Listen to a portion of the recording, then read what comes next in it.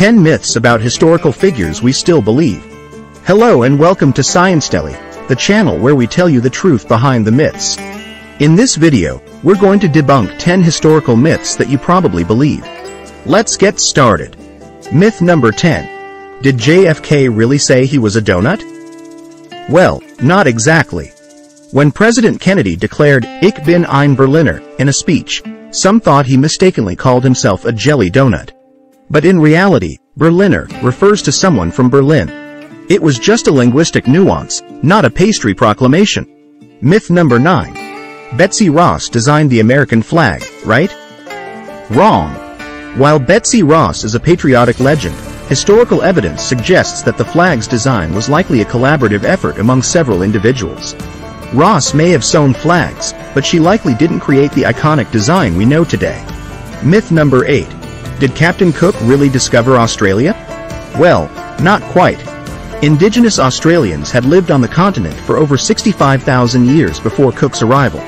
He may have been the first European to document parts of the coastline, but to say he discovered Australia erases the rich history of its original inhabitants. Myth number 7. Did Walter Raleigh introduce tobacco to England? Surprisingly, no. While Raleigh popularized tobacco in England, it was actually introduced by earlier explorers like John Hawkins and Sir Francis Drake.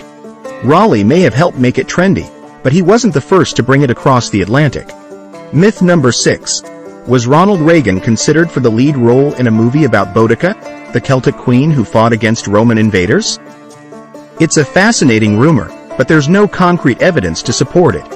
Reagan's Hollywood career was notable, but his connection to Boudica is purely speculative. Myth number 5. Did Boudica invent wheel spikes for chariots? While Boudica was a fierce warrior, the invention of wheel spikes predates her time. Archaeological evidence suggests that spiked wheels were used in ancient civilizations long before Boudica's rebellion against the Romans. Myth number 4.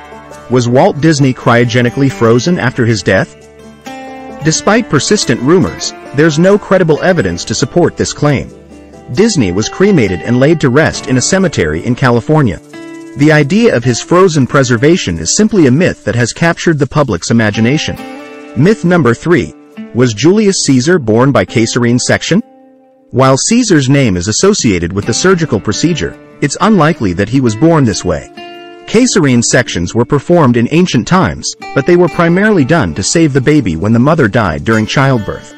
Caesar's mother is believed to have lived long after his birth. Myth number 2. Was Queen Victoria as prudish as history suggests? Contrary to popular belief, Queen Victoria had a passionate and romantic side. While she was known for her strict moral values, she had a loving relationship with her husband, Prince Albert, and they had nine children together. Behind closed doors, Victoria was far from being a sexual prude. And finally, myth number one. Did Catherine the Great die while having sex with a horse? Absolutely not. This scandalous rumor is nothing more than a vicious smear campaign. Catherine the Great was a shrewd and capable ruler who modernized Russia, not someone who engaged in such bizarre activities. And that's it for this video. We hope you enjoyed learning the truth behind these 10 historical myths. If you did, please give this video a thumbs up and subscribe to our channel for more amazing content. Thanks for watching ScienceTelly, and we'll see you next time.